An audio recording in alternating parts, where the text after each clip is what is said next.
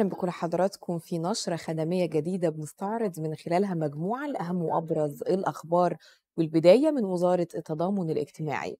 حيث ستبدأ اليوم في صرف معاشات مايو مع تشكيل لجان لمتابعة عمليات الصرف وتسجيل أي عقبات تواجه أصحاب المعاشات.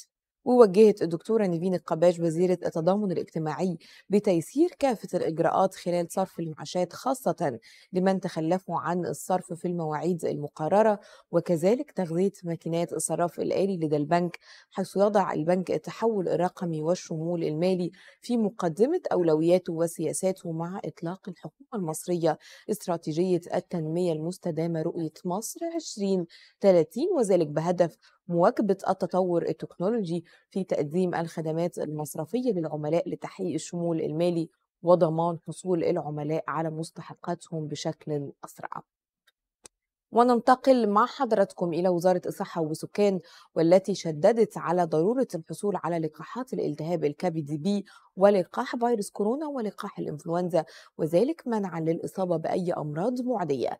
وتواصل وزارة الصحة والسكان رفع استعداداتها بجميع محافظات الجمهورية ومتابعة الموقف أولا بأول بشأن فيروس كورونا. واتخاذ كافة الإجراءات الوقائية اللازمة ضد أي فيروسات أو أمراض معدية كما قامت الوزارة بتخصيص عدد من وسائل التواصل لتلقي استفسارات المواطنين بشأن فيروس كورونا والأمراض المعدية.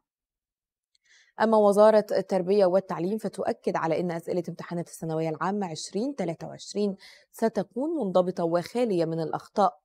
وتراعى المستويات المعرفية المختلفة للطلبة ومتدرجة من السهل إلى الأصعب مضيفة إلى أن الأسئلة ستكون في منهج العام الدراسي بأكمله وتشمل جزئيات المنهج الدراسي دون حذف كما طالبت بضرورة مراجعة جميع جزئيات المنهج وعدم التركيز على موضوعات بعينها وترك موضوعات دون مذاكرة أو مراجعة. مشيرة إلى أن طبيعة الأسئلة وهي الاختيار من متعدد والمقالية سوف تحتوي على جميع جزئيات الموضوعات الدراسية. وأخيرا أخبار حالة الطقس ودرجات الحرارة المتوقعة حيث كشفت الهيئه العامة للأرصاد الجوية إن آخر صور الأقمار الصناعية تشير إلى إن الطقس ما زال مائل للبرودة في الصباح الباكر وليلا على أغلب الأنحاء. مائل للحراره نهارا على القاهرة الكبرى والوجه البحري وجنوب سيناء وشمال الصعيد. مائل للدفء على السواحل الشمالية حار على جنوب الصعيد. وتابعت هيئة الأرصاد كما تشهد البلاد نشاط رياح على مناطق القاهرة الكبرى والوجه البحري وجنوب سيناء على فترات متقطعة.